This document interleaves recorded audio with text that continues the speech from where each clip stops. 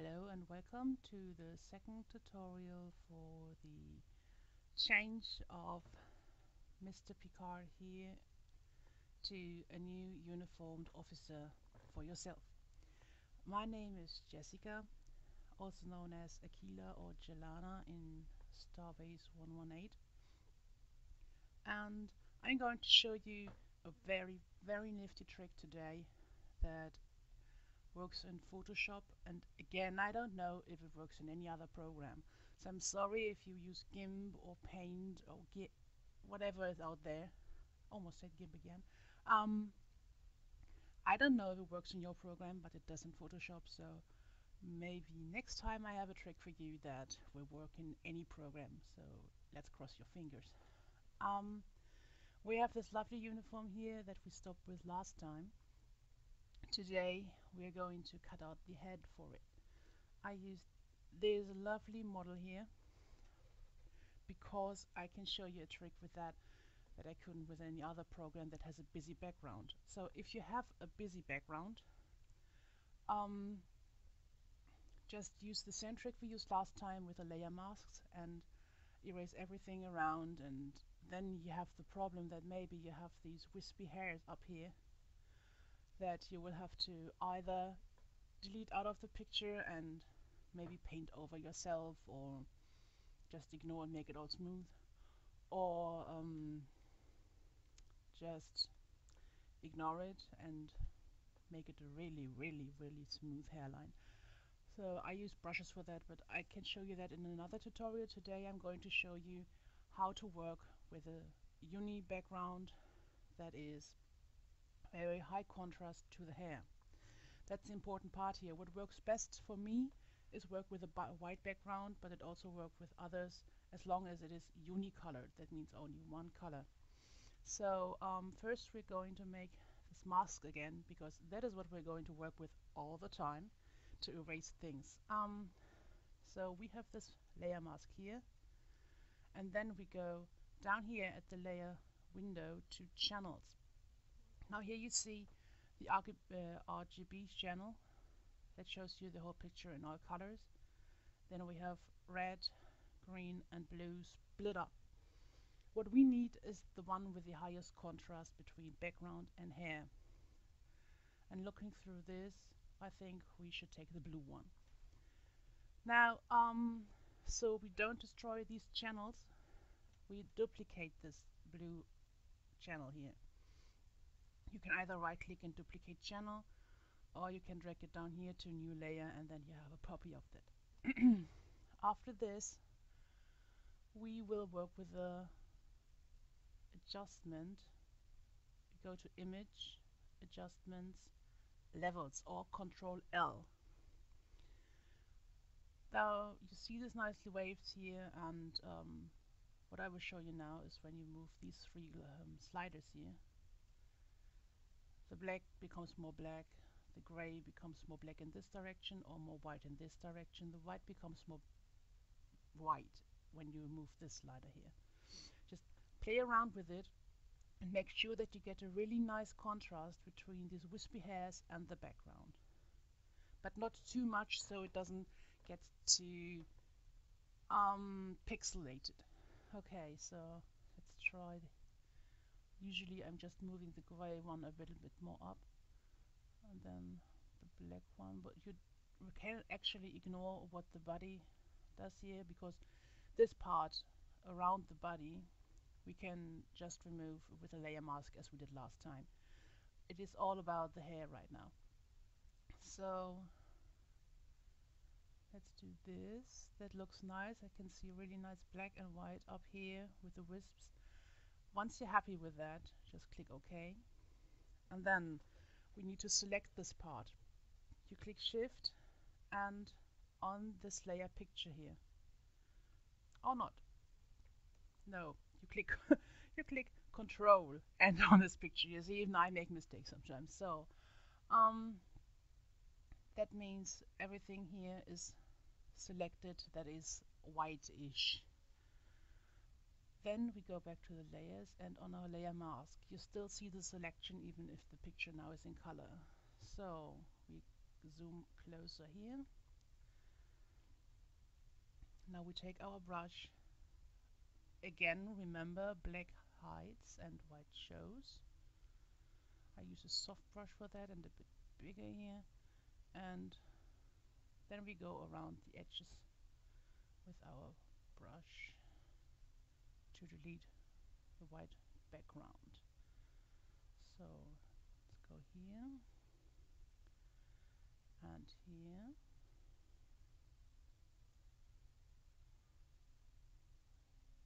So that's at least the stuff around the hair. And since we can't do the see that really well behind this background I usually work with a black background layer just to make sure that I can see everything well. You see here some parts have been turned uh, semi-transparent. We can take care about that in a moment. So first to be less distractive I'm removing the white background here. Because I don't know about you but if I have this white background in my eyes all the time I'm going blind. And we don't want that right so um, once we have this we will go back to the hair and I'm showing you a couple of more things. First you can see this white halo around. So we make a new layer. Down here usually I do that with a button here because I really can't remember all those hotkeys. And then we create a clipping mask you can either do that by right click and go here create clipping mask or you can hold down your alt key go between those two layers and it's the same result what this clipping mask does, uh, does is that you can paint on that anywhere, but it only shows in those parts that are shown in the layer below. So for example, let's take a nice red color so I can show you that best. You can paint here, doesn't show anything, but you can paint here and it shows because the layer below is shown there. Let's turn that back. Then we use a little magical tool, which I like is the clone stamp. Um, the brush size is okay for this. To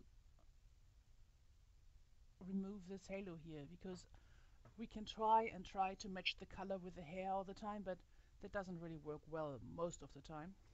So I use the actual hair to color in that halo. And we do that by sampling first. Hold down the Alt key and click at the region where you want to sample. Then you go over the halo and color it in. See how easy that is. And we do this all over every now and then I resample to make sure that I get the hair color right because the hair color is not always the same everywhere as you know also to make sure the direction works because if I make a sample here and try to use it on the other side I paint inside the head and not outside on the halo. So let me go around this here. Sometimes you have a lot of repeti uh, repetition here so I'm trying to take a different brush then and remove that repetition a little. I'll paint here okay almost there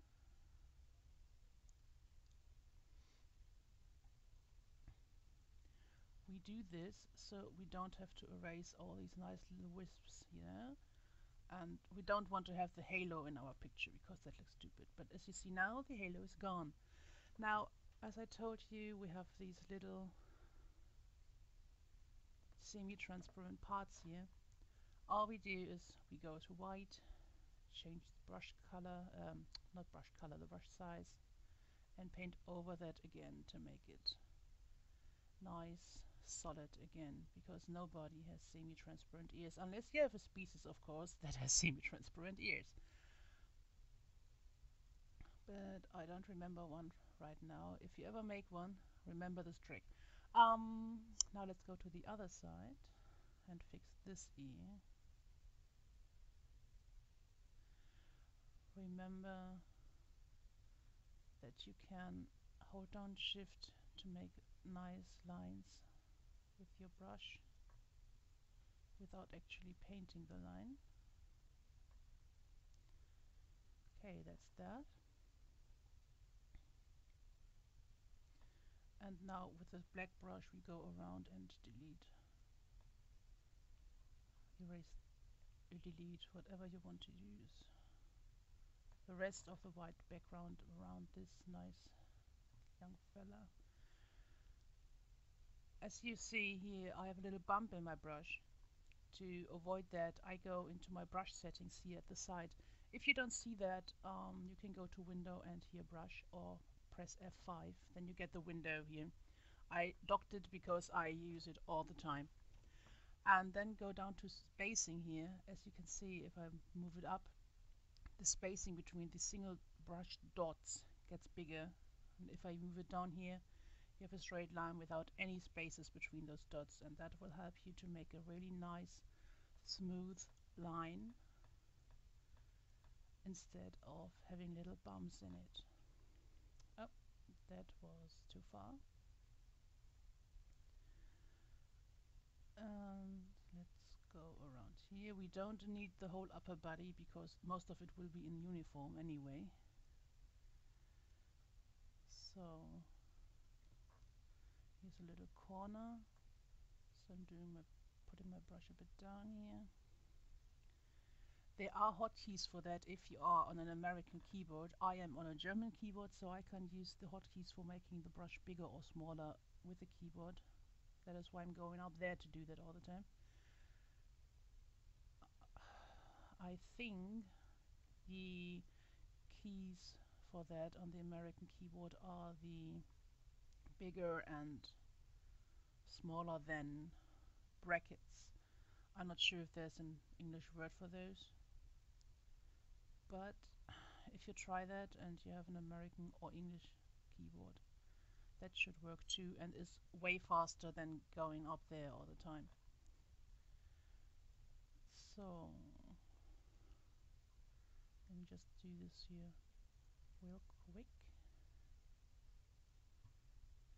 So we can have this done because then I am also going to show you how to include that place with uniform. I might have to show you another tutorial at one time how to do that with long hair because long hair has the extra challenge that you can't just cut it out from the background because it goes over the body and um, most people would like to have the long hair showing also in front of the uniform. So that will be an extra challenge but it's a little bit more advanced I think. So um, I'm going to save this here just so we don't lose it in case something goes wrong.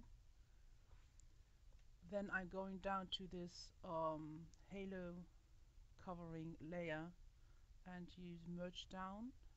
So we have only one layer of that because we will never put them apart. We need them together. Then duplicate layer and I'm duplicating it to the Picard uniform file that I have opened in the background.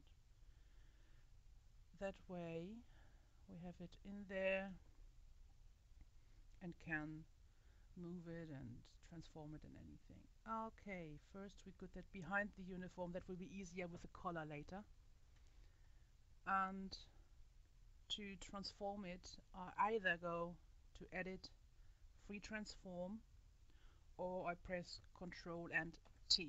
That is one of the shortcuts that I know. We have to make sure that we are on the right layer though.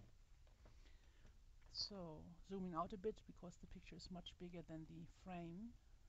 And then we scale it down. As you can see I scale it down to the middle which is holding down Shift and Alt at the same time and it will work around the center point here. Now if the center point is here, it will